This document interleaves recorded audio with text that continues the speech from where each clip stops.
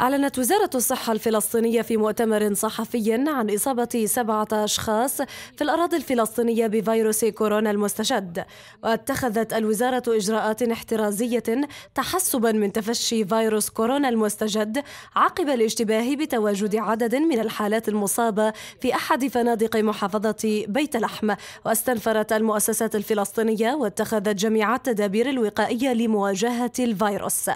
ودعت الوزارة إلى ضرورة وقف كافة الفعاليات والندوات والمؤتمرات والأنشطة الاجتماعية والرياضة في بيت لحم لمدة 14 يوما تحسبا من انتشار فيروس كورونا وعملت على تحويل مركز الإدمان في بيت لحم إلى مكان للفرز واستقبال الحالات المرضية والمصابة ودعت إلى تحويل فندق إنجل في بيت جالا إلى مركز للحجر الصحي.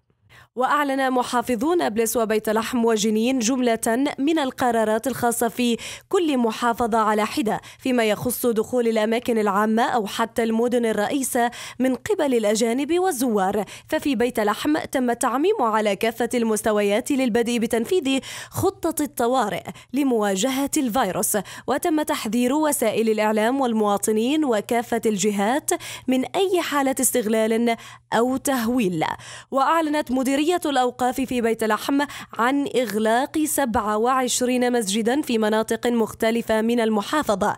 هذا وبشرت أيضا وزارة النقل والمواصلات تعقيم حافلات النقل العام في محافظات بيت لحم مبدئيا على أن يتم العمل بذلك لاحقا في مختلف المحافظات.